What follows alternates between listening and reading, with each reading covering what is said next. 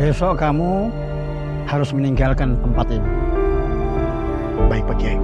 Tapi sudah lama. Biar aku di sini aja. Tidak mungkin lah kau ninggalkan mama sendiri. Di mana pun kau berada, sekalinya pun diantah berantah, kami akan selalu ingat dan tahu.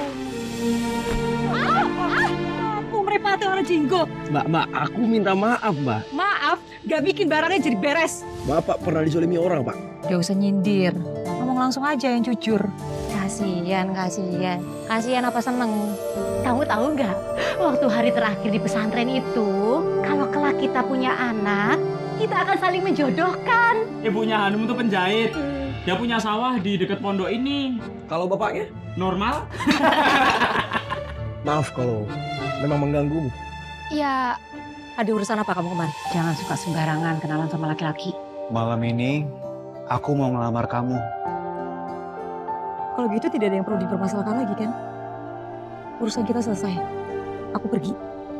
Bisakah kita bertemu lagi? Apa kamu tidak berpikir ya? Yang selama ini ibu lakukan itu untuk kebahagiaan kamu.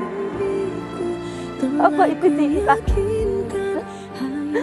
Jangan pernah berpikir ya, kalau cinta itu bisa selamanya membahagiakan kamu. Apa kamu yakin? Apa yang kamu lihat itu baik-baik ini? Kadang cinta itu bisa bikin kita sakit. dalam doaku Aku cinta sama dia. Iya, Mbak.